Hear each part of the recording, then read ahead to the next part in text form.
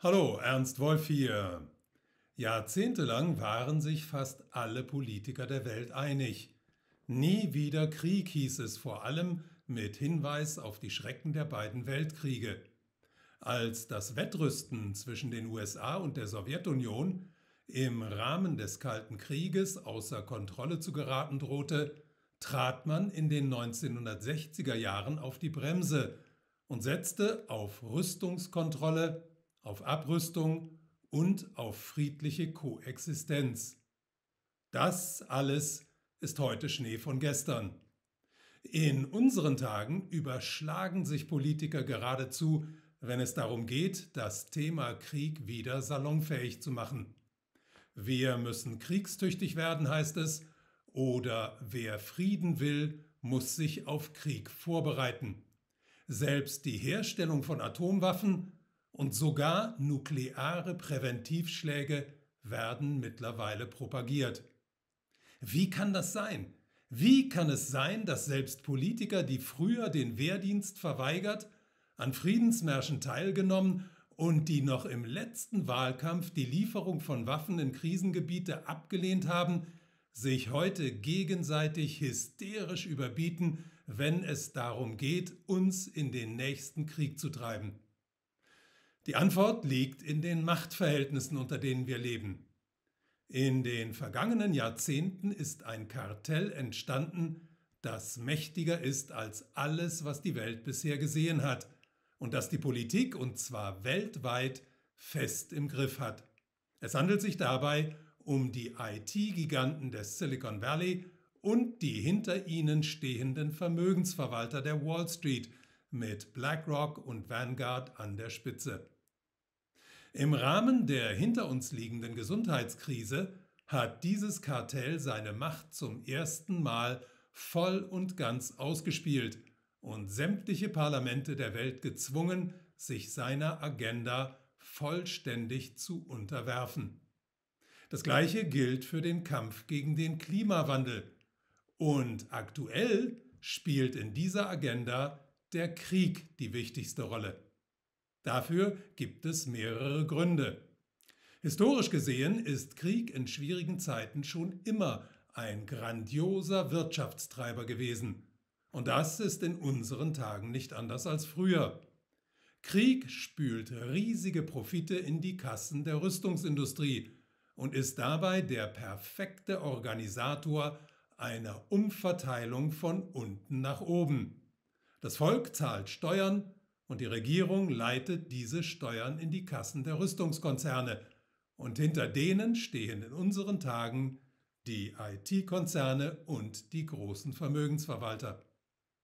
Krieg hilft aber auch, herrschende Regimes in Krisenzeiten zu festigen.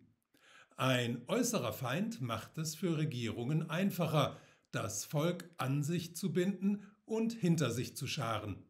Zudem hilft der Kriegszustand, dem Volk autoritäre Maßnahmen als zur Verteidigung des eigenen Landes notwendig zu präsentieren und den Menschen so die Sicht auf die wahren Profiteure in den eigenen Grenzen zu vernebeln. Außerdem darf man nicht vergessen, dass die Schrecken des Krieges das Volk zermürben und ihm die Kraft nehmen, sich gegen die Obrigkeit aufzulehnen, die Herrschaft der wenigen über die Masse also erleichtern. Es gibt zurzeit aber auch noch weitere Gründe, warum wir einen solchen Aufschwung der Kriegstreiberei erleben. Zum einen befinden wir uns mitten in der vierten industriellen Revolution, und erleben zurzeit einen wahren Wettlauf im Bereich der künstlichen Intelligenz. Und für deren Entwicklung liefert Krieg den idealen Nährboden.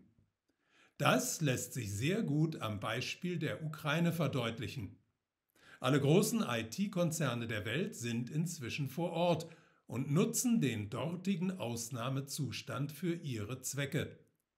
Im Ukraine-Krieg gibt es keinen Schutz der Privatsphäre, keinen Datenschutz, dort werden die Menschenrechte missachtet und es herrscht ein mehr oder weniger gesetzesloser Zustand, der den Entwicklern Freiräume gibt, die unter friedlichen Umständen undenkbar wären.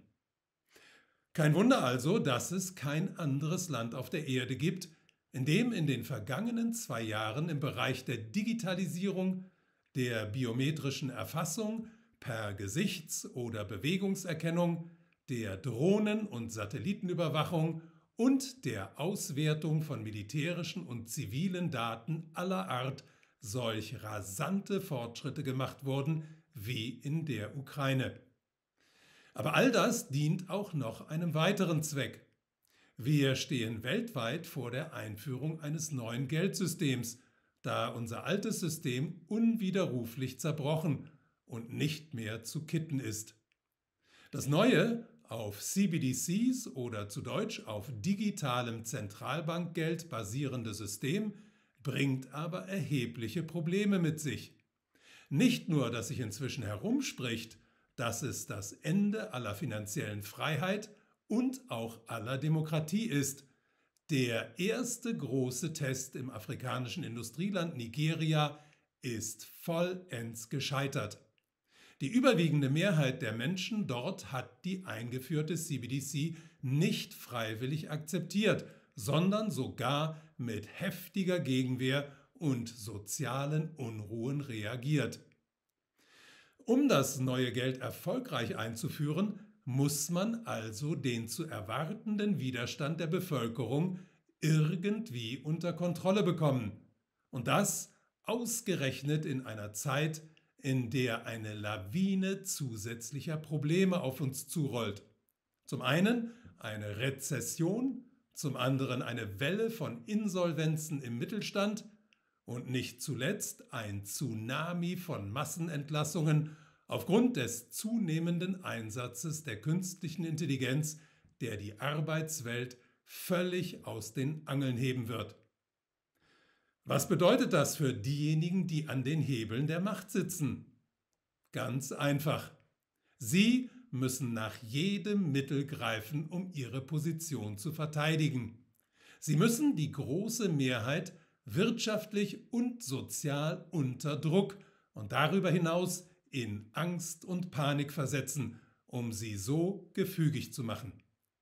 Und was liegt da wohl näher, als solche Politiker, die sich in der Vergangenheit als willfährige, steuerbare und zum Teil käufliche, aber auf jeden Fall gewissenlose Marionetten des Kartells bewährt haben, damit zu beauftragen, diese Agenda mittels hysterischer Kriegshetze voranzutreiben.